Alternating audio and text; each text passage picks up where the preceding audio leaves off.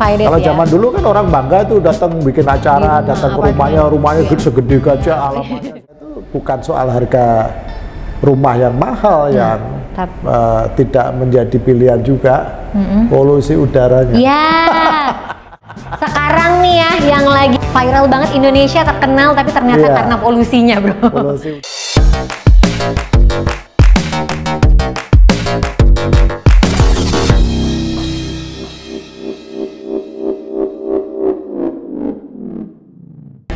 Sobat Roma 21, welcome back to YouTube channel Roma 21 with me Nara dan selalu bersama bro andalan kita Bro Deye, apa kabar? sehat-sehat. Sehat, salam properti. Salam properti. Bro Deye. Apa kita ngobrolin apa Ngobrol lagi? yang santai-santai tapi sangat bermakna, syarat maknanya karena terlalu selalu banyak informasi dan tips Iya, yang iya, bisa iya. kita berikan untuk eh, Sobat Roma 21 untuk membeli properti nih Bro. Iya, iya, Nah, iya, untuk membeli properti tadi mungkin kita sudah pernah bahas di segmen-segmen sebelumnya untuk harga rumah nih yang tetap naik ya bro saat ini ya. Nah dengan harga rumah yang naik ini sebenarnya para sobat Roma 21 sebaiknya membeli di daerah yang mana sih bro? Karena udah makin nggak mampu nih kalau di Jakarta bro. Gimana nih bro? Dia sebenarnya Jakarta itu memang eh, harga properti udah udah mahal banget. Banget Dan ya. Orang udah nggak mampu. Ya, Jadi ada betul. gap gitu loh. Gap itu sekarang itu demand daripada yang beli properti itu adalah generasi milenial yang terakhir plus Gen Z yang lagi masuk lapangan pekerjaan. Hmm. Ya. Nah, sementara properti di Jakarta, Jakarta. itu lebih mahal. Nah, Tapi sebenarnya Jakarta itu bukan soal harga rumah yang mahal yang tap- eh, tidak menjadi pilihan juga. Polusi udaranya. Iya. Sekarang nih ya yang lagi kita viral banget Indonesia terkenal tapi ternyata Iya. karena polusinya, Bro. Polusi udaranya. Indonesia terkenal karena polusinya. Nah, ini apakah sebaiknya kita sudah Jakarta adalah bukan pilihan utama lagi nih, Bro? Selain Iya. harga, polusi ya. Nah, dari sisi asap kendaraan Mhm. itu memang benar sih. Kita lihat satu aspeknya ya. Mhm. Orang yang dari Tangerang, Depok, Bogor, Jakarta ini kan masuk Tetap Jakarta rata-rata Masih bawa kendaraan. Bawa kendaraan, ya. Polusi ini memang eh, salah satu alternatifnya memang orang harus beralih ke Trans- angkutan massal. Transportasi Nah. umum ya. Seiring itu kan sebenarnya kalau kita lihat MRT sendiri kan sebenarnya sudah cukup nyaman ya. Iya dong. Tapi daya tampungnya kan belum maksimal. Ya, ya. belum bisa. Kemudian ada LRT, kemudian ada komu komuter lain ya selain. Iya, komuter. Komuter lain ini menurut saya masih perlu improvement nih, karena Iya. masih berdesak-desakan ya. Jadi menurut saya ya pemerintah harus segera dorong supaya angkutan massal Hmm. itu bisa lebih nyaman, orang mau beralih ke ke angkutan massal Hmm, dan dan otomatis apa namanya akan mengurangi polusi. Oke. Ya orang harus membiasakan kalau dia kerja di Jakarta, Ya. ya dia tinggal di Jakarta. Ya, itu konsepnya sekarang kan harus Harganya- dekat kan. harganya mahal gitu. Iya, nah harganya Nah, mahal mau kerja Itu solusinya sebenarnya ada dua. Kalau mau beli apartemen aja sebenarnya masih bisa. Hmm, ya. Beli jadi tetap apartemen atau sewa. Apartemen ini kan masih masih belum menjadi pilihan. Pilihan ya. utama pasti, Banyak Pak. hal ya, mungkin Iya. ada kepercayaan harus tinggal nginjek tanah, Iya. nginjek bumi, terus lebih firm. membayangkan tinggal apartemen itu nggak nyaman Yes. dan sebagainya. Jadi sebenarnya apartemen ini ada segmen-segmennya. Hmm, Ya jadi kalau dia segmen pekerja itu sebenarnya potensial ke depan itu expected kalau saya berharap teman-teman yang memang profesinya itu bekerja dia masuk ke apartemen-apartemen di jalur LRT City Oh, atau iya, jalur TOD. transportation-nya, Ya kan ya. itu kan setiap pemberhentian LRT itu kan akan ada Pembangunan 5 sampai 10 tower. power. Ya kan, jadi kalau saya membayangkan tuh LRT itu kayak eskavator aja. Hmm, Jadi keluar dari apartemen, kita naik kereta udah sampai sampai. Sudirman, udah sampai Jakarta. Nah, menurut saya nanti itu akan cepat atau lambat, dia akan shifting. Tapi pemerintah juga sudah mulai mulai berani eh, menaikkan parkir, ya kan? Iya. Tadi mengatur traffic itu Iya, juga harus pasangan. harus butuh keberanian, ya, harus dipaksa, terpaksa dan terbiasa. Hmm, wah, terpaksa. Nah itu itu segmen pekerja. Ya. Bagaimana yang bermobil? Ya, bermobil ini Ya, kan betul. rata-rata bukan pekerja Ya. murni kan, dia ya, pebisnis, pebisnis, pengusaha. ya, ya. Nah mereka jangan membayangkan apartemen juga hanya sekedar eh, tempat tinggal. Jadi Ya. kalau kita lihat apartemen-apartemen yang handovers eh, tahun ini ya, mulai handover itu konsepnya sudah sudah berubah. Ya, Ya gitu kita bilang konsepnya itu kita bisa tinggal di apartemen di situ, bisa bekerja di situ, Hmm. ya bisa bermain di situ. konsepnya apa Pak eh, namanya Live, work, and Iya, live, eh, live, play and, Play and- earn money. earn money ya live play and earn money Ya, jadi apartemen untuk segmen pebisnis ini atau wira swasta atau wirausaha atau Iya. entrepreneur itu konsepnya berbeda. Kalau tadi pekerja, Ya, menurut saya dia akan ke jalur-jalur Yang eh, tadi, ya ya. kan? Untuk para pebisnis, entrepreneur, dia masuk ke yang- apartemen yang modelnya berbeda. ya. Di, di apartemen itu mereka ini kan biasanya kan eh, hidup di situ nanti ya Terus dia juga bermain di situ. yes play. Kalau yang yang tadi eh, Pekerja. TOD tadi, dia kalau mau bermain mesti naik LRT ke Untuk kota. bisa ke kota Tapi apartemen yang di tengah kota yang segmen entrepreneur atau segmen pebisnis tadi, Udah paket ya hiburannya lengkap. di situ. paket lengkap ya Paket jadi lengkap. harus sudah nggak ya ke mana-mana kan? Cari uang juga di situ kalau bisa. Ya startup company, influencer, bikin konten, bikin apa-apa. semuanya Jadi di situ ya apartemen yang segmen itu tuh betul-betul eh, ada co-living lah istilahnya. Co-living. Ada kita ada ada dua saya percontohan yang yang satu sudah handover, yang satu mungkin tahun depan ya. Yang yang apartemen di Jakarta ini eh, surprising itu ada library-nya, Hmm. ada living room, ruang terima tamu, Wow. ada ruang untuk orang konten kreator. Eh, playnya, hiburannya ada biliarnya, ada movie roomnya, ada jogging tracknya, ada untuk Bener-bener pesta untuk- barbecue. wow bener-bener full ya Nah, untuk kemudian yang dua yang belum pernah saya temukan, dia punya meeting room yang banyak. hmm. Bisa small ruangan, tengah sama besar. Jadi kalau cuman apartemennya di mahal dia memang nggak perlu besar. Ya dia untuk tinggal aja. Kalau Iya, dia mau untuk ngopi hidup. di bawah. Di bawah. mau terima tamu dia Di di, bawah bawah, mau aja. kerja dia di bawah, nggak perlu ke co-working space atau kan. Hmm. Terus mau ngundang pesta ada tempatnya Ya, ada. juga available lengkap di situ. Ya, jadi benar-benar untuk apartemennya emang buat hidup, untuk private Iya. roomnya ya. Jadi semua untuk Ya. kebutuhan play, Nah, kalau segmen pekerja tadi benar-benar untuk untuk tinggal, tapi aktiviti yang lain dia keluar. dia tetap keluar. Tapi kalau ada transportasi yang gampang ini yang akses. support ya. Kalau ini transportation. Ya udah ada di situ di semua. situ juga, tapi memang semuanya tersedia ya untuk Iya. play and earn money ya, Iya, bro. earn money. Jadi- live play and earn money Nah, juga yang di menarik adalah tadi ada movie room, ada Hmm. biliar, ada tenis, ada renang, ada macam-macam. Yang satu adalah dia ada communal kitchen.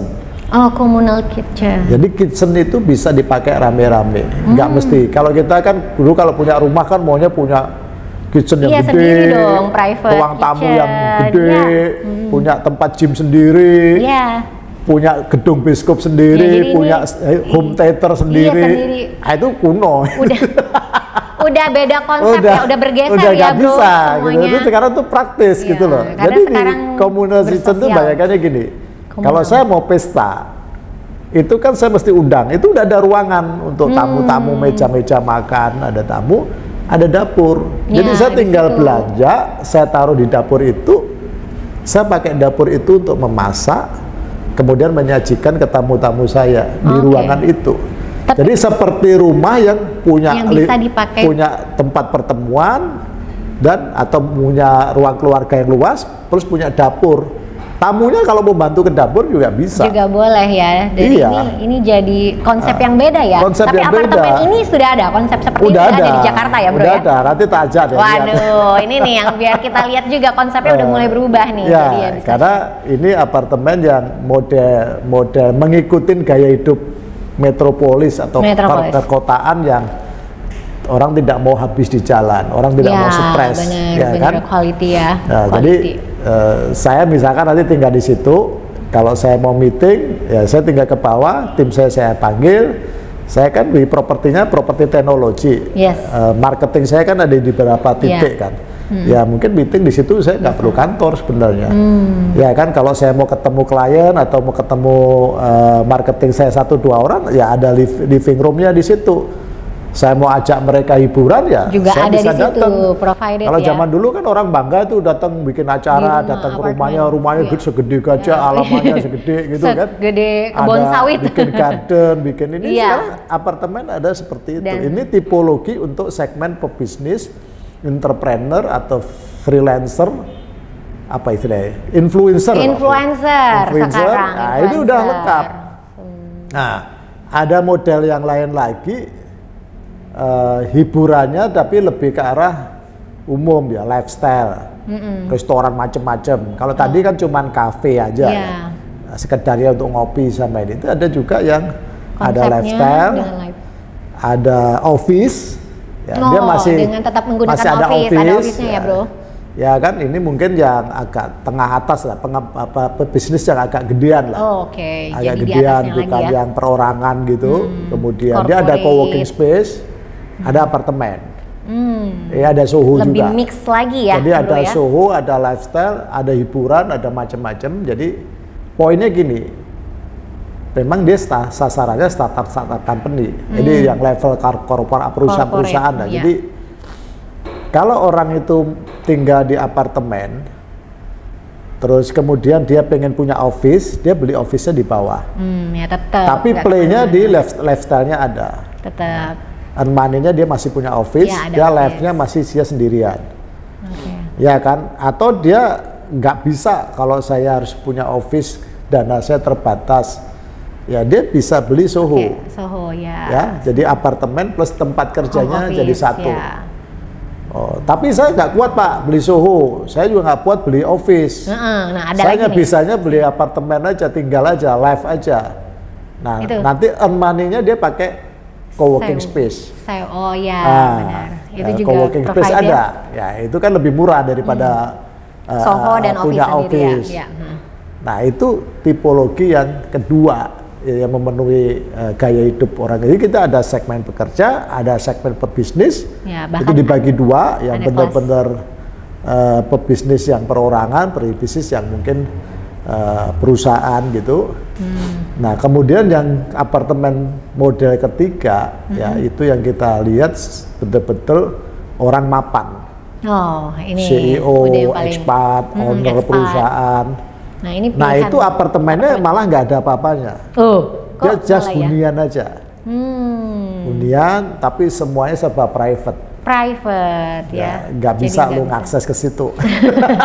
Dicatat dulu nih, kamu Ah. siapa? Ya ampun, Nah, sangat kira-kira gitu. Nah, sekali ya. jadi inilah yang nanti akan makin berkembang. Ya mungkin tadi yang segmen pekerja akan shifting ke Ke ke, LRT, LRT ke jalur ada public seperti juga di ya, bro. Singapura ya, Tetap di beberapa kota besar kan seperti apartemen. itu. Nanti pebisnisnya akan ada dua, ya akan Ya. ada yang uh, uh, stand perorangan Ya, gitu, yang ada. kecil, ada yang menengah. Yang menengah, Tapi atas. untuk kaum kaum yang mapan, dia juga nggak mau rumah yang mapan ini kan biasanya udah 45 ke tahun ke atas Di kan. atas. Dia juga nggak happy dengan rumah yang besar kan. Iya. Jadi dia akan tinggal di apartemen juga. apartemen-apartemen yang kita istilahkan yang premium segmen. Dia Oke. biasanya private live. Oh, tetap private live Private ya. live, eh, eh, parkirnya dedicated, dia punya sendiri. Ya dia setinggal di apartemen, eh, serasa tinggal di Tinggal landed. di landed karena Nah, baik harga yang segmen beda. segmen pekerja tadi itu di 20 sampai 25 juta saat ini. Oh, untuk per meter square-nya ya, per bro ya. meter square. Per Kalau meter kita square. bicara apartemen memang hitungannya per meter per square. meter square, yes. Tinggal kemampuan kita berapa? Kalau Hmm. 25 ya kemudian kita beli 500 juta ya 20 meter. Ya. Studio berarti kan. Ya, oke. Atau sampai 1 miliar gitu bisa bisa di 30 40 meter. Meter. Nah, Nah, kemudian yang 25 naik, sampai 35 itu yang segmen tadi, pebisnis tadi. hmm, Ya kan? Eh, Sampai kem- sam- 35 kemudian juta. pebisnis yang medium tadi, yang perorangan-perorangan tadi, Ya. yang apa Yang tadi freelancer, iya, freelance, ya kan, ya, eh, entrepreneur, lah entrepreneur, ya, ya Yes. kan, profesional gitu. Iya. Nah untuk posisi agak gede eh, itu di Per meter di di atas 35 sampai 45. Wow, di atas 35 juta per meter ya, Bro. Ya, Jadi pilihan-pilihan fas- apartemennya ada fasilitasnya ya. lebih lebih lengkap dan terintegrasi. Hmm. Nah, kemudian yang premium tadi di 45 Di atas juta ke 45 atas. juta meter. Jadi kalau Nara suatu saat ada orang nawarin apartemen, Aduh, harus disesuaikan dong ya. bukan kalau dia ada private lip harganya berapa? Eh, Coba aja na- nebak-nebak. Iya, 50 juta apa ya? Oh enggak, masih 46. Oh masih murah. Oh, ya. Karena masih di range bawah. Di range gitu. bawahnya Tapi ya, sekarang udah 45. mulai mengarah di 50 ke Di atas 50 eh, juta per 60 meter juta.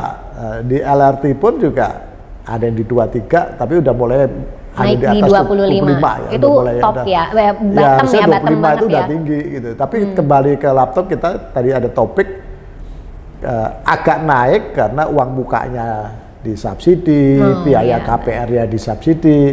Nah, yang segmen middle lower tadi memang majority pembeliannya dengan KPR. KPR masih ya, Nah, mayoritas. cuman yang premium tadi biasanya sudah cash. sudah cash. Cash ya, bro, ya. ada penthouse, ada kayak gitu-gitu.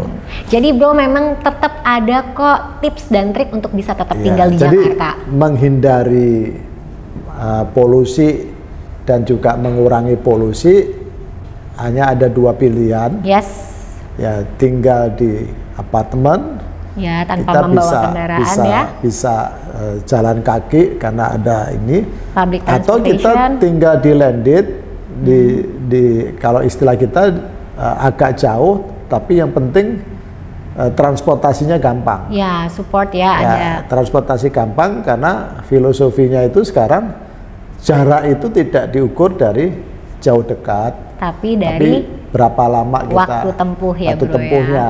Jadi kalau dia tinggal di pinggir Jakarta dibandingkan tinggal di Bogor Iya. atau di Bekasi sekarang mungkin Bekasi ke Sudirman mungkin 40 menit udah nyampe. ya, Saya dari sini ke Menteng bisa dua jam. iya benar dengan menggunakan Ah, iya kan? kendaraan sendiri. Nah sekarang yang favorit memang kebanyakan mengarah ke daerah Bogor yang masih ada pegunungan, masih asri ya. Eh, eh, kawasannya cukup Hmm. Kawasan cukup tinggi. ya. Nah itu ada beberapa perumahan-perumahan yang kalau mau apa kualitas udaranya bagus, ya dia steril dari industri kan. Hmm. Nah, tapi kalau segmen pekerja tadi nanti ke depannya ya mengarahnya ke arah Bekasi dan Tangerang.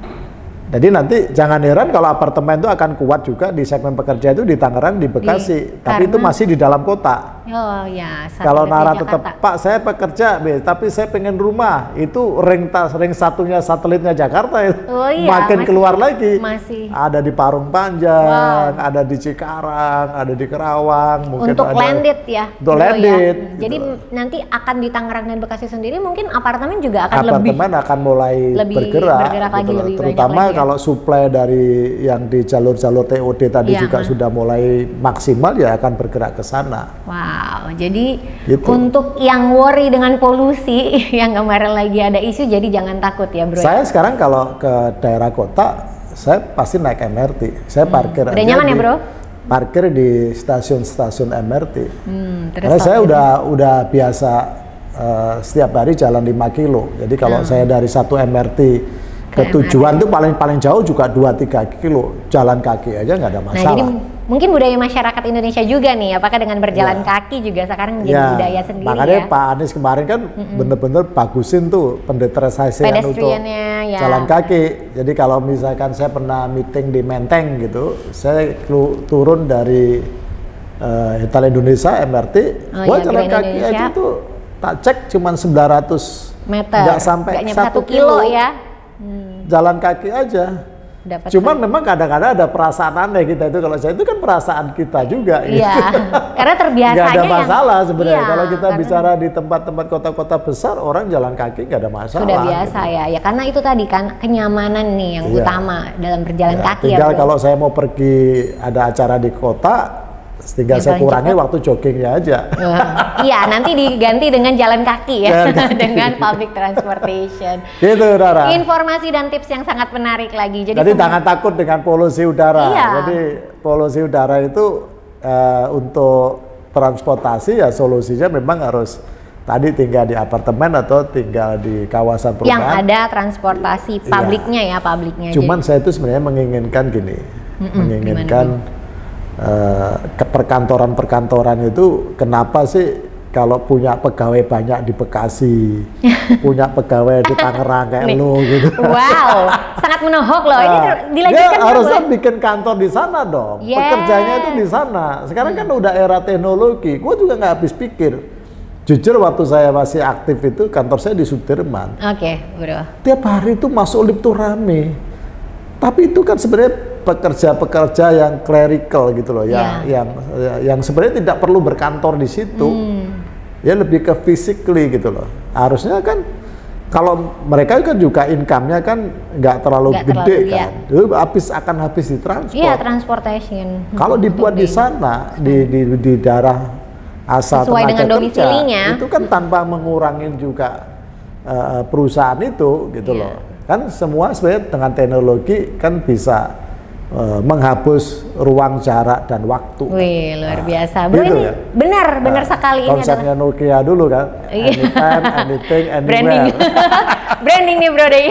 Tapi ini adalah jeritan hati para employee saat ini mungkin ya bro. Jadi itu kan kualitas hidup juga tentunya kalau bisa berkantor dekat dengan domisili. Karena perusahaan-perusahaan yang tetap ngeyel.com punya office di Jakarta akan rontok semua juga akhirnya. Tentunya ya, karena saat Iya. ini ya inilah Jakarta saat ini ya.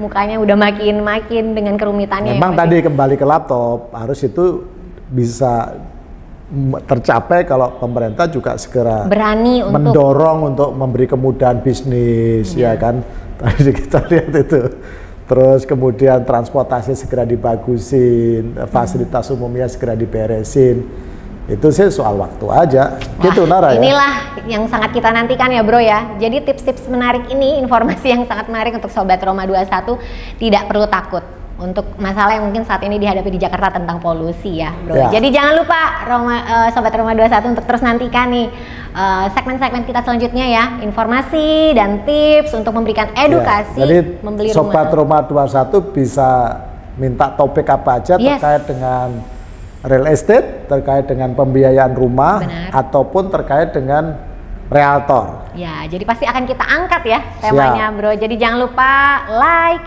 comment, subscribe dan juga jangan lupa Share. untuk share. Selalu kita tunggu. Terima kasih ya Bro Ya, De. salam Salam properti.